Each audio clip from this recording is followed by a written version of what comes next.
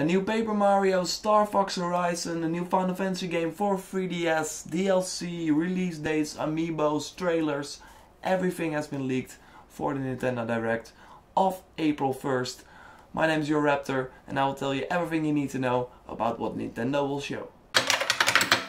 So first I wanted to do a prediction video about this Nintendo Direct of April 1st, but then I saw this leak and it looks really real. It's from a um, Nintendo of Europe employee it was all in German, but it's now translated to English and it looks, like I said, really real. Um, so, first, it's really happening. There's really a Nintendo Direct on April 1st or April 2nd in Europe. That is now April Fool's, so we got that out of the way. And I will now tell you all the most awesome announcements that will happen during this Nintendo Direct. A new Paper Mario will be announced for winter 2015 because of course Zelda is delayed.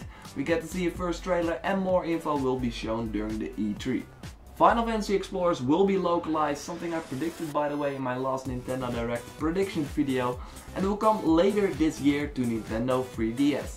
Really excited for this one, it looks really awesome to play with a lot of friends. There will be a Nintendo anime channel coming to the Wii U and Nintendo 3DS on April 9th in Europe.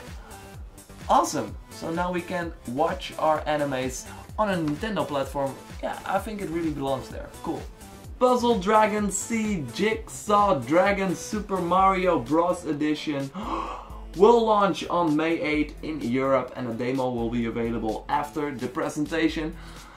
This is like a huge phenomenon in Japan, so it's awesome to see that finally coming to the West. It's only on iOS right now, but would be cool to play on the 3DS. Also awesome that you can play with Mario Bros team style. The second Mario Kart 8 DLC pack will release on May 7th in Europe and there will also be a patch with a very neat feature where one player can play on the gamepad and the other on the television with local multiplayer so you don't need uh, any split screen anymore because now you can do it this way.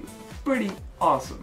Splatoon gets a release date on May 29th in Europe and I want to play that right now. Of course this multiplayer focused game also has amiibo support with unique amiibos. Bring them on Nintendo, bring them on. Speaking of amiibos, there will be a whole new way for you to spend your money on including Jigglypuff, Zero Suit Samus, Falco, Hunt Duo, Palutena and Ganondorf. And of course Ganondorf can be used in Hyrule Warriors to unlock that special weapon you always wanted. Yeah, I'm, I'm now a I'm now a Nintendo PR guy. Other cool stuff are re-releases, yay! Wii games are coming like the RPG Pandora's Tower, Sins and Punishment and the Zelda Skyward Sword. Also Nintendo 64 games will come to the Wii U eShop. Awesome, pretty cool, yes, yes. Super Mario 64, Ocarina of Time, Kirby 64, The Crystal Shards, Super Smash Bros. and 1080 snowboarding. No, this game will not be in 1080p. Last but not least is the pre-order function for the eShop.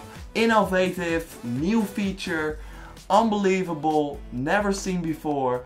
You can now pre-order games, so buy games upfront in the Nintendo eShop. There will also be a web eShop, but the cool part is though, jokes aside, that you get 10% discount if you pre-order a new game in Nintendo eShop. And that's pretty awesome because not everyone is doing that. Like, no one. So Nintendo, good job.